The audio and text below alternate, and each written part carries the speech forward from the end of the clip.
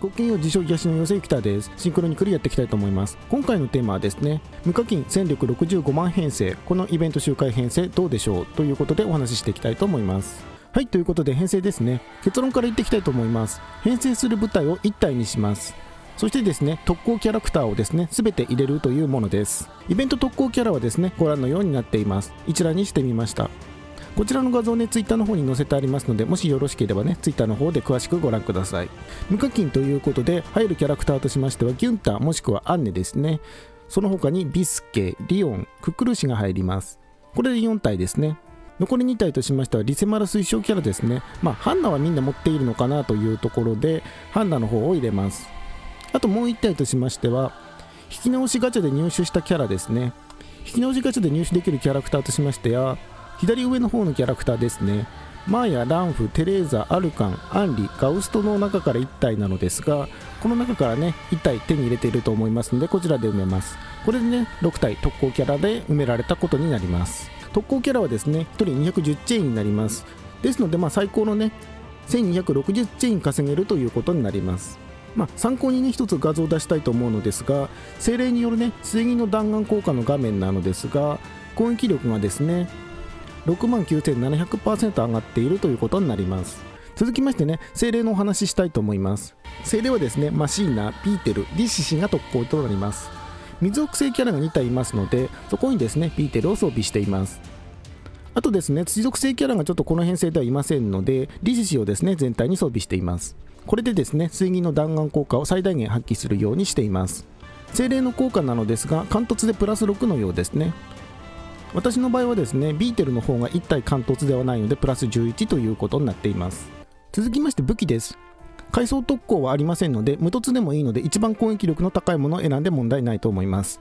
私はですね第2階層の武器プラス10を使用しています。プラス値はですね10くらいあるとですね攻撃伸びていいかなと思います。それでは実際の編成としてはこんな感じになりますね。例えばですね先兵レベル27と戦ってみます。通常攻撃でいいです。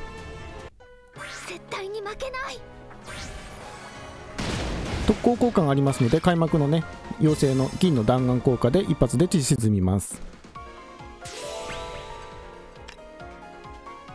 例えばですね水属性の敵と戦いたい場合はサブとキャラクターを入れ替えます。属性が違いますのでサブのね有利属性と入れ替えていきます。手動でちょっとサブと入れ替えるのでここちょっと手間になってしまうのですがこんな感じで入れ替えていきます。敵の有利属性として水銃弓が挙げられていますのでギュンターもしくはアンネビスケあたりはですねメインに入れて大丈夫だと思います。それではねこちらもねちょっと戦ってみようと思います。戦う場合はですね全力攻撃がいいと思います。PP 消費量は増えるのですが単位の攻撃力が5倍ということでなおかつね HP1 で耐えるということでコスパいいと思います。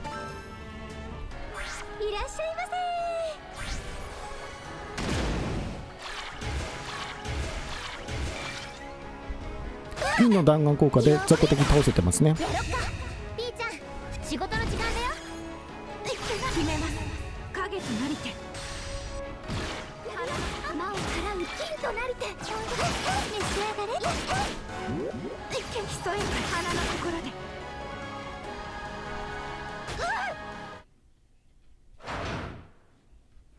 はいということで無課金なのですが合計ダメージがねこれくらい出ましたね。まあ無課金にしてはねそこそこ出てるのかなと思います。はいということで無課金戦力65万編成でした。属性違う場合はですねちょっと手間でねサブと入れ替える必要性があるのですがこの編成であればね風有利と水有利に対応できると思います。イベント周回ねいいのかなと思っていますね。ちょっとね私はこれで周回しようかなと思っています。それではですねイベントに関してね一問一答形式でね少しお話ししてみようかなと思います。どんなイベントということで答えとしましてはイベントを周回して魔人ククルーシを仲間にしてその魔人ククルーシをですね完突するイベントになっています。丸2何をすればいい？ということで、まあ、流れとしましてはね丸1先兵を倒して根源の枝を進めます。根源の枝これですね。これですね先兵レベル1を倒すとレベル1のとこになるって感じですね。今はですね27まで倒しましたので27のとこまで来たという感じです。先兵倒すごとにですねレベルが1からどんどんプラスされプラス1されていって最終的にね50になっていくという形です。これですね5の倍数の時はですね敵結構強いですので全力でね戦った方がいいと思います。もし1回で決まらなければね2回3回と戦えますのでそしてね倒していくといいと思います。丸2番救援で魔人が出たら参加しておくですね。これ戦力がね低いとか強いとか関係なくたくさんの人数でね殴ることに意味がありますのでぜひともね参加しておいてね魔人の宿星ですねキャラ上限解放するアイテムゲットした方がいいと思います。丸3番ミッションや根源の枝ですね。あとは魔人の救援で宿星を貯めてククルーシをゲットということですね。宿星はですね150個集まればね魔人をキャラクターとしてゲットできます。4番さらに集めてククルシをですね貫突目指していこうというのがですね大まかな流れになってきます。一問一答形式丸3番です。救援誰も来てくれないのですが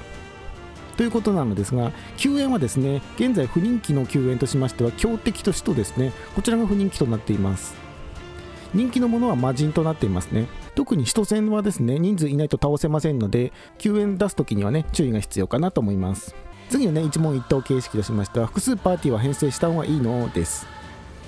こう最初のところにね3つ編成しましょうみたいに出るのですが無課金とか美課金はね1編成に絞りまして周回した方がいいと思いますね。3編成できればね出撃していない編成のオーバードライブで50%上昇しますので3体でねこうローテーションすることで効率的に周回はできるのですが高キャラ集めて特攻倍率上げた方がですねイベント周回しやすいですので複数パーティーはね編成しないで1パーティーにね絞った方がいいと思います。続きましてねパーティーのサブも編成した方がいいの？という点です。結論から言いますとサブも編成してきっちり埋めた方がいいと思いますね。特にですね次の弾丸効果としましてチェイン数とかだけではなくてですねサブの戦力もですねダメージ関係してきますのでサブもですね特攻キャラで埋めた方がいいと思います。続きましてねイベントで毎日やった方がいいことがあるという点です。まず1つ目ですねイベント専用のデイリーチャレンジミッションがありますのでねこちらチャレンジしていくといいかなと思います特に先兵とか強敵倒しましょうみたいなのがありますのでねチャレンジできればチャレンジしていった方がいいかなと思いますね。あとですねイベントミッションというのがあります。今日も忙しいな。こちらですね。特にですね先兵とのバトルに10回参戦でねガチャ石100個手に入りますのでねこちらもしお時間が都合が良ければね先兵とのイベント参加してみた方がいいかなと思います。ちなみにですねイベントだけじゃなくてね通常のデイリーミッションもありますのでねお忘れなくやった方がいいかなと思います。こういう時ね通常のデイリーミッション忘れてねちょっとねあのもったいないことしちゃったりするのでお忘れなく。はいということでどうもご視聴ありがとうございます。今回はですね無課金戦力65万編成このイベント編成で周回どうでしょうということでねお話ししてみました。あとはですねイベントに関して一問一答の形式でね少しお答えしてみました。イベントの話はですね次回以降でももう少ししようかなと思っています。少しでも参考になれば幸いです。今後もねシンクロニクルの動画投稿していきますのでチャンネル登録とかね高評価していただけますと幸いです。